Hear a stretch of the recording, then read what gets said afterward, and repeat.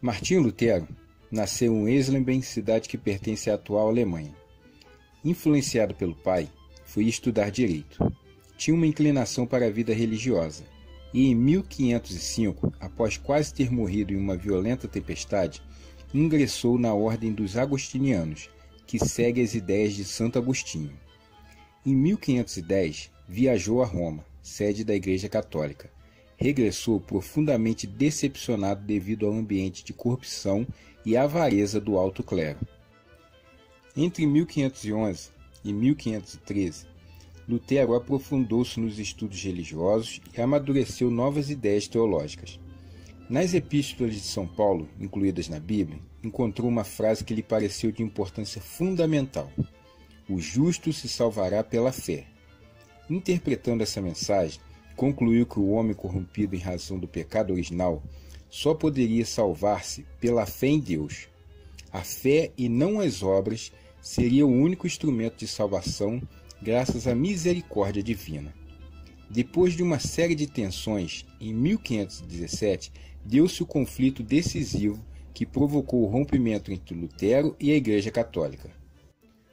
Com o objetivo de arrecadar dinheiro para a reconstrução da Basílica de São Pedro, o Papa Leão X autorizou a concessão de indulgências, que era o perdão dos pecados aos fiéis que contribuíssem financeiramente com a obra.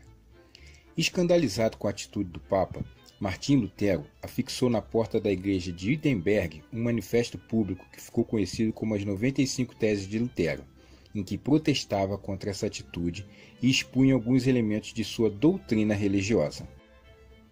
Iniciava-se assim a longa discussão entre Martim Lutero e as autoridades católicas, que terminou com a decretação de sua excomunhão, em 1520.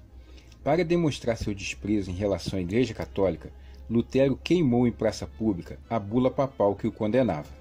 Com o apoio da nobreza e da alta burguesia, Lutero divulgou sua doutrina religiosa pelo norte da Europa.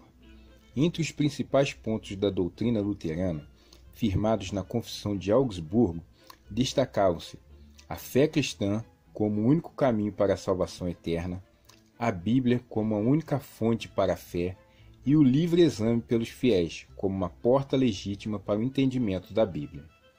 Além disso, o luteranismo não aceitava o culto dos santos católicos, a adoração de imagens religiosas e a autoridade do Papa.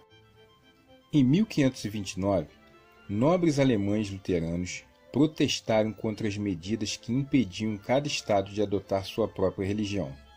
Foi a partir desse protesto que se difundiu o nome protestante para designar os cristãos não católicos. Eu espero que eu tenha lhe ajudado a entender um pouco como se iniciou a reforma luterana. Muito obrigado por você ter assistido esse vídeo. Um grande abraço e fique com Deus.